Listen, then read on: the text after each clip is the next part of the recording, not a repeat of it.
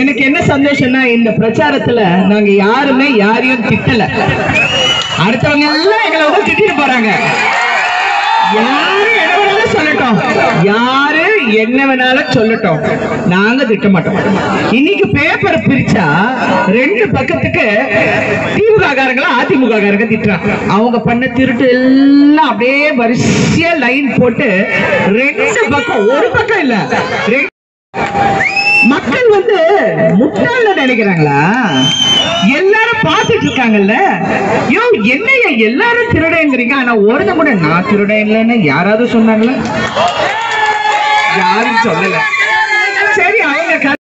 கமலஹாசன் அவர்கள் செய்ய செய்ய போகிற நல்ல விஷயங்களை மட்டும்தான் சொல்லியிருக்காரு. மக்களுக்கு என்ன செய்யணும்? நான் நேரடியா வந்து செய்யறேன் இந்த நடுவுல ஆளு நாங்க டெல்லியில போய் குனிஞ்சுக்கிட்டு வணக்கம் சொல்லிக்கிட்டு அதெல்லாம் இல்லாம நாங்க நேரடியா வந்து உங்ககிட்ட உங்களுக்கு என்ன செய்யணுமோ நாங்க சிறப்பா செய்வோம். சிறப்பா செய்வோம்.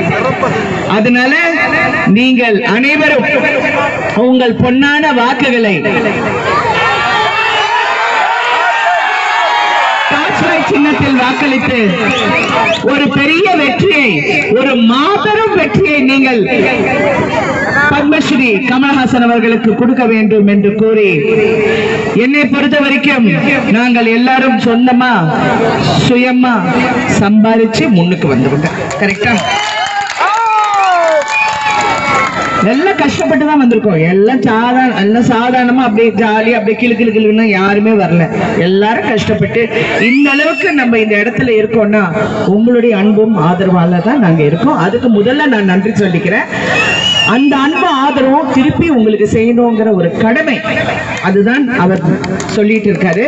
அதே மாதிரி அந்த கடமையை செய்ய அவருக்கு ஒரு வாய்ப்பை கொடுங்கன்னு நான் ஒரு சகோதரியா உங்களிடம் கேட்கிறேன். டார்ச் லைட் சின்னத்துக்கு வாக்களிங்கள். என்னை பொறுத்த வரைக்கும் இது வெற்றி சின்னம் மக்களுக்கு நல்லது செய்யற சின்னம் ஊழல் லஞ்சம் வாங்காத ஒரே சின்னம் டார்ச் லைட் என்று கூறி. எங்களை தூக்கி நட்சத்திர அந்தத்தில் வைத்தவர்கள் நீங்கள். அதற்கு பதிலாக என்ன செய்தோம் என்று யோசித்து பார்க்கும் பொழுது அதுவும் என்னுடைய வாழ்க்கையை யோசித்து பார்க்கும் பொழுது அஞ்சு வயதிலிருந்து என்னை தோளில் தூக்கி சுமக்கும் அதுவும் புகழின் உச்சியில் என்னை வைத்திருக்கும் இந்த தமிழகத்துக்கு நான் கடன்பட்டவன் என்றால் மிகையானது அந்த பெருங்கடனை தீர்ப்பதற்கான முதல் சிறு முயற்சி இது. இதில் வெற்றி என்று சொல்வது ஏற்கனவே நிகழ்ந்து விட்ட ஒரு உணர்வை நீங்கள் எல்லோரும் கொடுக்கிறீங்க நான் போற இடத்தெல்லாம் வழி அனுப்பும் போது ஜெயிச்சாச்சு நீங்க புறப்படுங்க புறப்படுங்கிறாங்க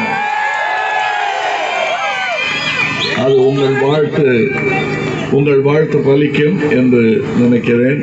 அப்படி வரும் பொழுது இந்த உரையாடல் ஒரு ஆரம்பம்தான். தொடர்ந்து நாம் பேச வேண்டும். முக்கியமாக என்னன்னா நேர்மை நேர்மைன்னு பேசிட்டு இருக்காங்க ஆட்சிக்கு வந்தா தெரியும்.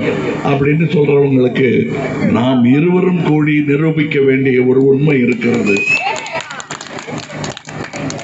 இங்கே இந்த ஏழைகள் இப்படி இருப்பதற்கு காரணம் வாய்ப்பு இருக்கிறது. காரணம் நீங்க ஏன் பணம் கொடுக்குறீங்கன்னு கேட்டா அவங்க சொல்றாங்க அவங்கள வாங்காம இருக்க சொல்லுங்க. நாங்க கொடுக்கலைங்கிறது எப்படிப்பட்ட பதிலா இருக்க முடியும்? அது மட்டும் இல்ல இப்படி கொடுக்குறீங்களே கஜானா காலி ஆயிடுச்சுன்னா என்ன பண்ணுவீங்கன்னு கேட்டா இப்படி கொடுப்போம் அப்புறம் டாஸ்மார்க்ல அதை திருப்பி வாங்கிடுவோம்னு அமைச்சரே சொல்றாரு. ஸோ உங்களுக்கு ஆபத்து எப்படி வருகிறது என்பதை அவர்கள் சொல்லிவிட்டு செய்கிறார்கள். அந்த அளவுக்கு தைரியம் வந்து விட்டது கேள்வி கேட்க ஆள் இல்லை என்று அவர்கள் நம்புகிறார்கள். இல்லை இருக்கிறது என்று நிரூபிக்க நாங்கள் வந்திருக்கிறோம். உங்கள் குரலாக மாறி உங்கள் பிரதிநிதியாக மாறி சட்டசபையில் அந்த குரல் கேட்க வேண்டும். என்- என்னுடைய ஆசையெல்லாம் எனக்கு கொடுக்கப்பட்ட தொகுதி தமிழகம் திரும்பி பார்க்கும் ஒரு உதாரண தொகுதியாக மாற வேண்டும். அது நான் தனியா செய்ய முடியாதுங்க. கை தட்டி சந்தோஷப்படுத்தி என்னை அனுப்பிச்சு வச்சிடாதீங்க. நாம எல்லாம் சேர்ந்து செய்ய வேண்டியது. அந்த அந்த நாலு வருடம் ஐந்து வருடம் நமக்கு இருக்கும் நேரத்தை நான் சும்மா உங்ககிட்ட பேசுறதும் கை தட்டுறதும் அது இல்லாமல் வேலையில இறங்கி ஆளாளுக்கு வேலை இருக்குல்ல உங்களுக்கு வேலை இருக்கு எனக்கு வேலை இருக்கு. அவங்க அவங்க வேலையை செஞ்சு இந்த தொகுதியை ஒரு உதாரணமாக காட்டி அவர்களுக்கு அரசியல் நீங்கள் தான் கற்றுக் கொடுக்க வேண்டும். இப்படியும் அரசியல் பண்ணலாம். இப்படி ஒரு தலைமை வந்தால் நாங்கள் இப்படி தூக்கி பிடிப்போம் அரசியலை என்று நீங்கள் சொல்ல வேண்டும்.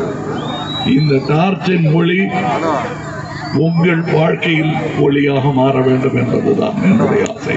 ஒரு சினிமா நட்சத்திரமாக இருந்த நான் உங்கள் வீட்டின் விளக்காக மாற வேண்டும் என்பதுதான் என்னுடைய ஆசை. எல்லா வீட்லயும் எனக்கு இடம் வேண்டும் என்று நான் கேட்டு வருவேன். ஆக நான் என்ன கேட்குறாங்க நீங்க வெளியூர்காரன்னு நீங்க சொல்லுங்க என் அட்ரஸ் என்னன்னு.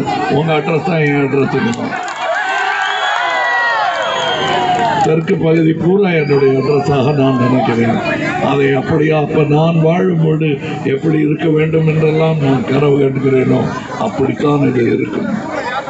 கழிப்பறை இல்லாமல் குடிக்க தண்ணி இல்லாமல் என் வீடு இருக்கக்கூடாது என்று நினைப்பு வந்தான் அதை அதற்கான ஏற்பாடுகள் வெகு விரைவில் செய்யப்படும்.